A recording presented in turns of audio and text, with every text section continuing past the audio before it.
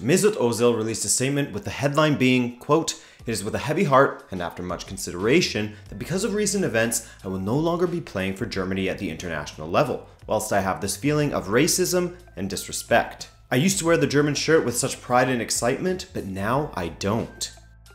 So, for now, you won't be seeing Ozil playing for Mannschaft. What up? I'm Adrian, this is Rabona TV, and today we'll be going through the reasons as to why Mesut Ozil won't be playing for Germany for now. I honestly didn't intend to have two videos in a row about players not playing for their national teams, but hey, we'll go with it. By the way, if you're finding us for the first time and enjoy explainers like this, player bios, timely news, FIFA content, etc., then do consider hitting that subscribe button. It's appreciated. Now, Mesut has had no shortage of detractors throughout his career, most commonly during his time with Arsenal, where some of the fanbase see him as brilliant, while others see him as a lazy player with a flash of brilliance now and then. Given the unique vocality of the Arsenal fans, the guy's so fucking lazy. He's walking around like he don't give a fuck. Mesut no doubt has had to learn to take criticism from both the public and the media, as he noted in his statement. He went on to say, quote, Many applaud and many criticize. If a newspaper or pundit finds fault in a game I play in, then I can accept this. I'm not a perfect footballer, and this often motivated me to work and train harder. Standard, par for the course kind of stuff. To make it at the top, a footballer has to be both talented, and mentally strong. But where things start to go awry in Ozil's case is down to the picture he took with Recep Tayyip Erdogan alongside Ilkay Gundogan, and the German media didn't like that. I should say, parts of the German media didn't like that. Now, who is Erdogan, what exactly happened, and why was this such a big deal? Recep Tayyip Erdogan is the current president of Turkey, and is seen as a controversial figure. When Ozil and Gundogan took the picture alongside Erdogan in mid-May of 2018, the Turkish president was visiting England at an event that Ozil says was both, quote, educational and charitable. Erdogan was in England on a three-day trip where he was to meet with Queen Elizabeth and Theresa May.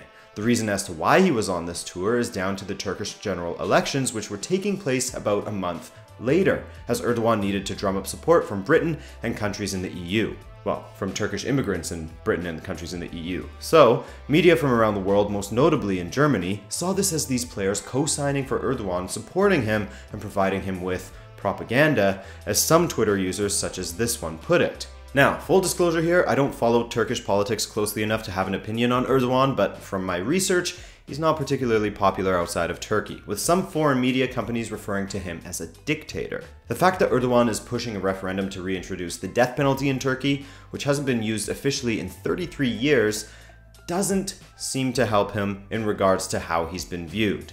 Now, in Germany, they recently introduced a law that disallowed non-EU politicians to campaign in Germany within three months of their elections. The reason that this law was introduced was due to Turkish politicians campaigning and gaining support for Erdogan back in April. So, Germany made it so that Erdogan couldn't campaign in Germany in front of the 1.2 million Turkish people who are eligible to vote in the Turkish elections at the end of June. Were eligible, I should say. He won the election, by the way, but that's neither here nor there. So, you can see how both the DFB, the Deutscher Fußballbund, or the governing body of German football, and just German media in general, were unhappy with the pictures of two of their players posing with Erdogan, a man who has a, shall we say, icy relationship with Germany. Now, Ozil, who was an integral part of Germany's 2014 World Cup conquering campaign, spoke at length about how the picture that he took with the president of Turkey really changed things regarding how the public perceives him, and how they took things a little too far. In his statement, he said, quote, Certain German newspapers are using my background and photo with President Erdogan as right-wing propaganda to further their political cause. Why else did they use pictures and headlines with my name as a direct explanation for defeat in Russia? He goes on to say, quote, they didn't criticize my performances, they didn't criticize the team's performances, they just criticized my Turkish ancestry and respect for my upbringing. Now, earlier in his statement, and I'll paraphrase a bit here, Ozil spoke about what it's like growing up in a Turkish household within Germany, and how his mother never allowed him to forget his roots, which you can't say is a bad thing in the slightest. He said that the picture wasn't political as many media outlets claim it was, as he was simply accepting an invitation to meet with the president, the guy running the highest office of his family's country, and he didn't see it as a meeting with political implications. They only speak about football when they meet. No matter who the president was at the time, he was meeting with them because they were the president, not because of the person or their personality, or to give him his public support. So, some media outlets use the photo as leverage, and I think we now sort of understand the whole Picturegate 2018 aspect involving Ozil and Erdogan. But Ozil continued to lampoon the media and some of the people of Germany in speaking about the charitable work that he does. There's one instance where he was going to go to his old school in Gelsenkirchen following the events of the Erdogan picture, where Ozil had funded a program for one year where, quote,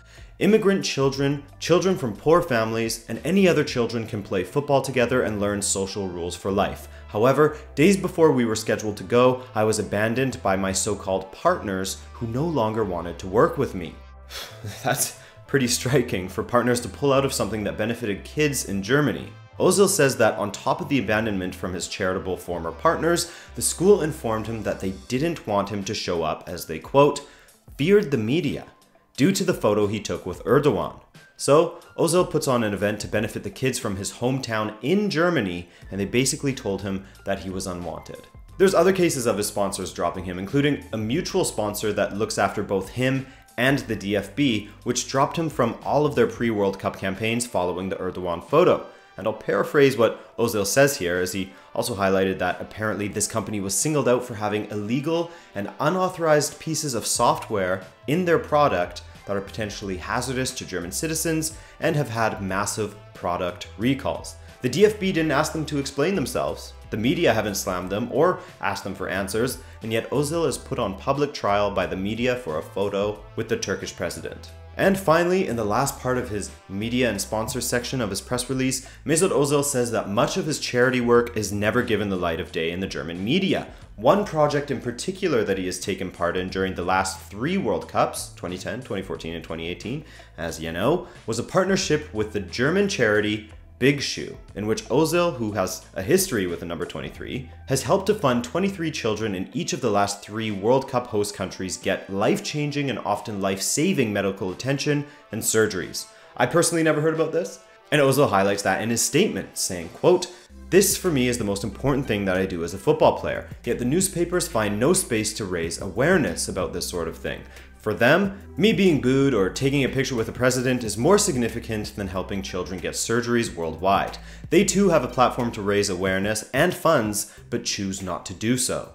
And so that concluded the media and sponsors part of the press release. As we move on to the final part and the biggest by far, his statements regarding the DFB themselves. Ozil pulled no punches when speaking about DFB president Reinhard Grindel, saying that he met with the president of Germany, Frank-Walter Steinmeier, not the DFB or German football, the actual president of the country, to speak about the Erdogan situation alongside Ilkay Gundogan, explaining his family, heritage, growing up with an immigrant family in Germany, etc. Steinmeier was apparently understanding and professional about the situation, whilst Grindel, again, Grindel is the DFB president, I know a lot of names here, Grindel was unprofessional, angered that he wasn't allowed in the meeting between Ozil, Gundogan, and Steinmeier, and also mad that Steinmeier and his office were taking the lead on the situation as opposed to the DFB. From the little that I've seen about him, Grindel sounds like a real piece of work, but that's me editorializing. Let's see what Ozil had to say about Grindel, and I'll paraphrase once again. Basically, following the World Cup, Grindel started to receive some heat for some of the decisions that were made by the DFB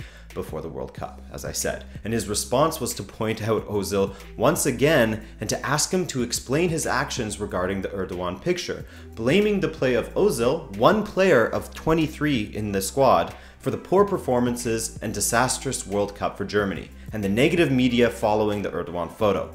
Can I just refer to it as the photo from now on? Appreciate it. This is where Ozil dropped the biggest bomb of all on Grindel as he said, quote, In the eyes of Grindel and his supporters, I am German when we win, but I am an immigrant when we lose. This, despite paying taxes in Germany, donating facilities to German schools, and winning the World Cup with Germany in 2014, I am still not accepted into society. He then went on to highlight the fact that he has received a Bambi Award for successfully integrating himself into German society, a Silver Laurel in 2014 from the Federal Republic of Germany, and he was the German football ambassador in 2015. And yet he still gets referred to as German Turkish instead of simply German. He also highlighted that Lukas Podolski and Miroslav Klose, two players that were born in Poland, were never referred to as German Polish, as Ozil speculates that he is only seen as different because he is Turkish and Muslim. Without saying it outright, I get the vibe that he is sort of stating that because Turkey is more.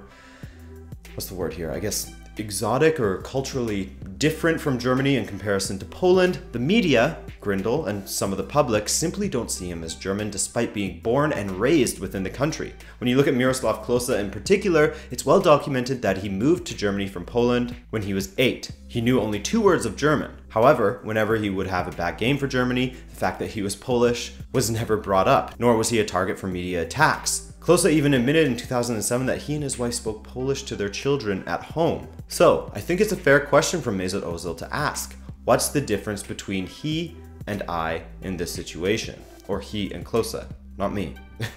Ozil also highlights some other politicians in Germany and their words for him. Quote, I was called by Bernd Holzhauer, a German politician, a goat because of my picture. Furthermore, Werner Steer, chief of German theater, told me to piss off to Anatolia, a place in Turkey where many immigrants are based. They are no better than the German fan who told me after the match against Sweden to, Ozil, f off you Turkish shit, piss off you Turkish pig.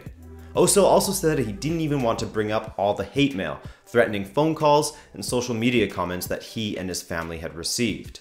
He went further, highlighting that Grindel's words and actions don't surprise him, given that Grindel in 2004 claimed that multiculturalism is a myth. He voted against dual nationalities, said that Islamic culture has become too ingrained in German cities as well. So, the quote that I opened with, Ozil claiming that he no longer feels pride in representing the German shirt, from his perspective, it's pretty easy to sympathize with. You were born within a country, raised within the country, do charitable work for said country, played a huge role in them winning a World Cup, and then they turn their back on you when the team does poorly and use you, as Ozil said, as, quote, political propaganda. You couldn't help but feel unwanted and extremely angry with the situation. Since then, on Monday morning, the DFB responded to Ozil's claims saying that, quote, we emphatically reject the DFB being linked to racism. The DFB has been very involved in integration work in Germany for many years. It is regrettable that Mesut Ozil felt that he had not been sufficiently protected as a target of racist slogans. However, while the DFB didn't really strike back at Ozil, Uli Hoeneß, the president of Bayern Munich, had some harsh words for Ozil, as he said, quote, I'm glad this nightmare is over. He's been playing crap for years. The last tackle he won was before the 2014 World Cup, and now he is hiding himself and his poor performances behind this photo. Damn, some cutting stuff there. And with all of that to consider, I leave the comment section open to you. And please leave the racist shit out of the comment section because that's simply unwanted and doesn't further the discussion at all. Do you stand by Ozil's decision or do you side with the sentiments of Uli Hoeneß and think that Ozil is using the photo controversy as a distraction from his declining performances for Germany? Personally, I don't think that's what Ozil's doing at all. I look forward to chatting with you guys in the comments section. And hey, if you enjoyed this video, then drop a like for me and subscribe if you're finding us for the first time and you want more content on all things football. I'm Adrian, I appreciate you taking the time to watch this video, and I'll hopefully catch you in the next one. Take care.